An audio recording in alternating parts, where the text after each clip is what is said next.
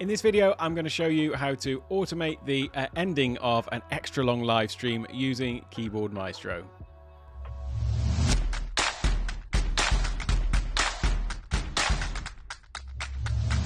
Hello, welcome to Take One Tech. My name's Alec, and uh, today I'm answering a question that was uh, asked by uh, Rich, who wanted to know how can we end a live stream after specifically 10 hours, but this will work for any particular length. Uh, now, why would you want to do that? And why would you want it to be automated? Well, the le- length of the stream may give it away that uh, he's not actually going to be sitting there for 10 hours behind his computer doing this live stream. It is something that's just going to be running in the background. And uh, specifically, it is, uh, at least I'm assuming this is the use case because I know that he does do some with this. Uh, it would be where you have these uh, continuous streams that are playing background music and things like that. So there's lots of these sorts of channels around doing that. and in fact, I'll leave a link to his channel just up in the top corner as well, uh, where this is uh, where this is happening, where it's a basically a continuous stream of music, uh, and then there are, and in fact, in his case, it's from uh, Epidemic, and then there is also a playlist uh, that is uh, that is shown as well. So we'll actually show you the track that is that is put up, I believe. but in any case, um, in the background as well as the music, there is also a cycling series of sort of animated overlays as well going on in in Ecamm. now with animated overlays and with scenes, obviously in Ecamm, you can just have a timer that is set to advance to the next scene, or you could have a timer that is set to end the uh, the broadcast uh, when the timer runs out. So, in theory, what you could do is just chain together all of these scenes uh, and then have the final scene be the one that ends the stream.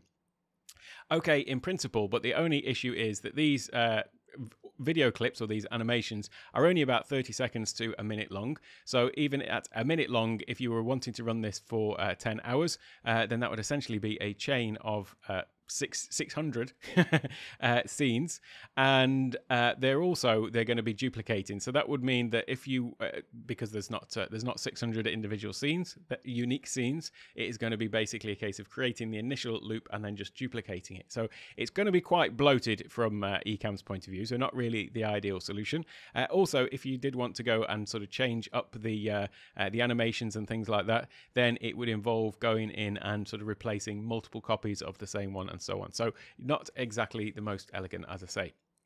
So what we want to do is basically have all of the uh, the looping scenes that we want in Ecamm, uh, but then we want to automate the the ending of the stream. Now we can actually automate the the starting and the ending as well, uh, and so we're going to do that in Keyboard Maestro. So first, let's just have a very quick look at what I have done uh, in uh, in uh, Ecamm.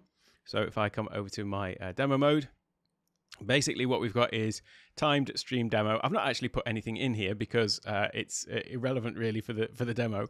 But if you've got a folder where you have multiple scenes in the folder um, then basically if you start one scene and you've got a timer to go to the next scene once you get to the very last scene it will come all the way back round to the beginning.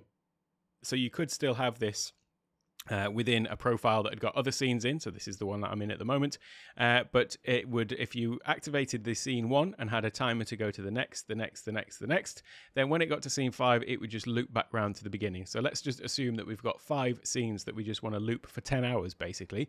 Uh, so this is the way that that would be uh, set up. I did do another video actually all about this, so I'll leave a link to that in the uh, in the top corner. Uh, but for now, let's head over to Keyboard Maestro and have a look at the next step. So what we want to do in Keyboard Maestro, now that we've assuming we've got our scenes set up, is I'm going to, and I'll leave a link to my very first introduction video to uh, to Keyboard Maestro up in the top corner, just for those that uh, are unaware of how to use it. But we're going to go through something really basic uh, today. So uh, basically in Keyboard Maestro, just a quick recap, in the interface, uh, you've got groups here, this column, which is basically just groups of macros. So this is how you sort of organize all of your automations. Uh, and then within each folder uh, or group, we have then got all of the macros that are contained within that. So I've got different ones grouped related to Keynote, uh, related to different businesses, related to different applications and things like that. And so in, in each of these folders, there is a group of macros, uh, which is listed here. Uh, and then when you click on any one of these macros, it will then tell you what the trigger is for that macro and the action that is going to uh, take place. So I'm not going to go in, as I say, to a full uh, overview of uh, Keyboard Maestro, but that in a nutshell is what we're looking at here with this interface. So I'm going to create a new group for this, which I'm going to call uh, timed stream demo. And then, now that I've created this folder, uh, we can leave all these settings just exactly as they are. I explained them in the first video that I've uh, linked to, uh, so I won't go through all of those. But basically, we're just setting up a, a folder with the default uh, settings here. Now what I'm going to do is I'm going to add in uh, ultimately two macros, but I'll start with the first one. Uh, and I'm going to just name this. When you add in a macro, it automatically highlights the macro name. So I'm going to call this one start stream like that. And then what we're going to do is add a trigger. Now you can have lots of different types of trigger actually. So we can have it uh, the the the common one that I guess people use is a hotkey. So you want it that when you press a hotkey like Command uh, S for command start or something like that. Although that would be command save, wouldn't it? That would be save rather. Um, so um, so yeah, just you can use a, a hotkey, but you can also have all these other different uh, types of triggers. Again, I talked about this in the first video, but what we're going to have a look at um, today is specifically somewhere down here. Uh, it's further down the list. There is quite a lot of them. So this one, uh, time of day trigger. So uh, here we can set the uh, the time uh, and these are usually used, this, this type of macro, or this type of trigger rather, is usually used for like routine tasks. So, for example, you might want to have something starting at uh, two o'clock in the morning, in the middle of the night, to start a routine. Obviously, probably not good for me because I tend to wake up at three. So, I would do it at a slightly different time. But what I mean is, you can use this to schedule like routine tasks that are going to happen maybe in the background, uh, or you might have it that before you get in to uh, to start work, if you start work at a particular time, you might want it to start up a load of applications ready for when you get there at a particular time. So that's the use case for these uh, timed starts. I'm just going to leave this actually at 8:30 just uh, for the time being, uh, and let's say that the day that this is for is uh, is a Monday, so we can just block out, as you can see, just select the days.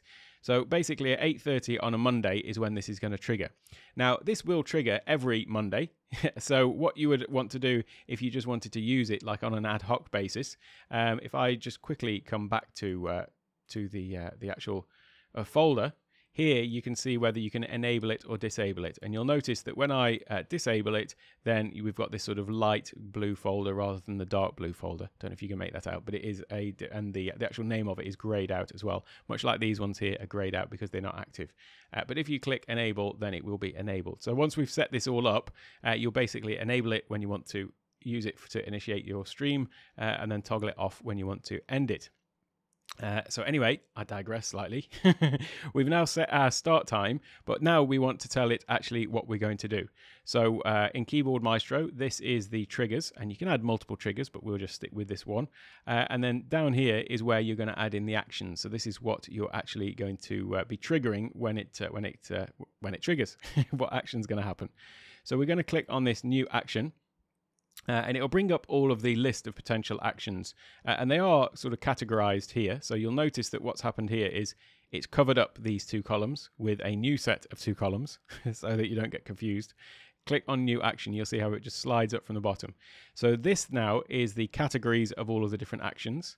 Uh, and if you go into all actions, you can see all of the different types of actions that you could actually trigger. And there is a lot of them, which is why some people find uh, Keyboard Maestro a little bit daunting because they think, oh, there's loads of different actions. I'll never be able to learn all of those. Well, the fact is, you only need to learn the one that you need for that particular uh, task. Uh, and uh, I don't use the majority of these.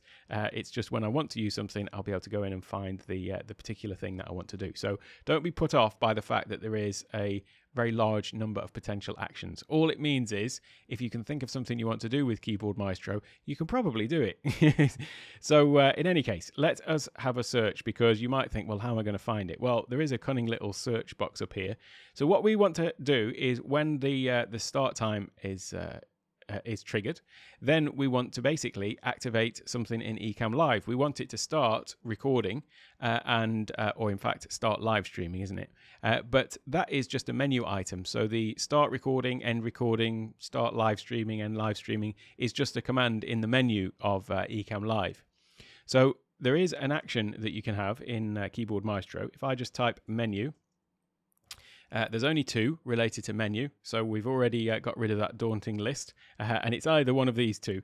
Show status menu, that's not what we want, or select or show a menu item. Well, we want to select the menu item to start live streaming or end live streaming. So let's click on start that, uh, start, uh, start a menu item, select a menu item. I'm getting all my S's mixed up. Now you can either drag it into this little area here, uh, which is quite useful when you end up with a big stack of actions because you can chain actions together. So there are instances where you might want to drag this and just drop it into a particular place in the chain. Um, but for our purposes, you can also just double click it and it'll just add it to the bottom. And since there's nothing else in the list, uh, it's just exactly where we want it. so now what we're going to do is we've got some uh, some settings that we can change with this. So this is the same with any keyboard maestro macro. Once you've added it in, there are lots of different ways that you can adjust it. So here we're going to go to select uh, front application. Well, we actually want a specific application because we want to trigger Ecamm Live. So I'm going to come down here and it'll have all of the apps that you've got open listed. So if you are wanting to trigger something in another application, uh, make sure you do have the app open. Uh, but we're going to select Ecamm Live, or the beta as it is, because that's the one that I use. Now, if you know the uh, particular menu item that you want, you can actually add that in here. So the menu title, that would be the uh, actual name that appears in the menu bar on the Mac. Uh, and then menu item is the sub item. And uh, as you can see, there's a little plus, so we can actually add a whole chain. So if you've got something where it was, you know, in a nested folder within the menu stack, then you can uh, you can add those in as well. There is another way that you can get to it if you don't want to actually type it out, because if you get the name wrong, obviously, uh, then it won't be able to trigger because it will be trying to trigger something that doesn't exist. So cunningly, they have added this little menu button here. Uh, and from here, you can basically go down to any app uh, so I'm going to go down to Ecamm Live, and you can see now it's listing all of the different menus that come along the top of the menu bar. So we've got the Apple menu, which is obviously in every uh, every app. Then you've got the the main application uh, uh menu, uh, and then we've got Edit, Profile, Scene, Source, and so on. So these are all just the Ecamm Live menus. Now we want to uh, start and stop the recording. Or, or, the live stream rather. Now, because I am in record mode at the moment in Ecamm Live, uh, then it actually changes the menu slightly of Ecamm Live. So uh, what you'll see is I've either got begin recording or end recording.